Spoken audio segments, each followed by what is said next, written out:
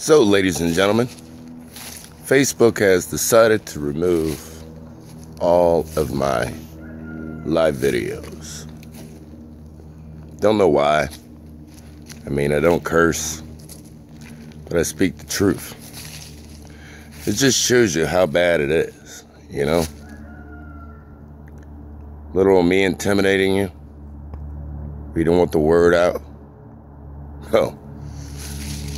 Most people would think I'd be upset, but I'm not.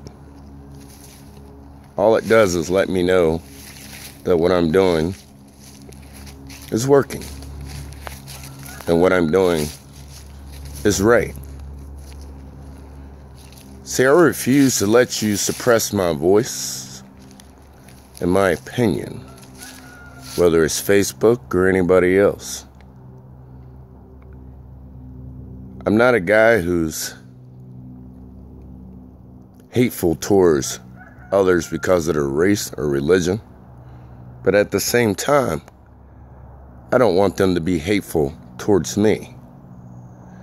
See, I feel like this country is being slowly forced into hiding their Christianity and beliefs to please somebody else. You know, I can't listen to you because you're a man just like me. And what I think you people are doing are wrong. And all you people out there name calling. And the funny thing is, a lot of you call yourself Christians.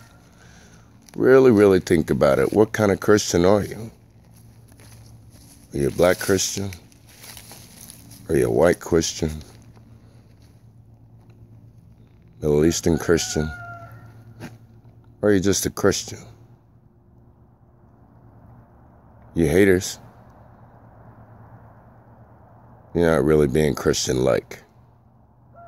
I'm Dionne Alexander, American First.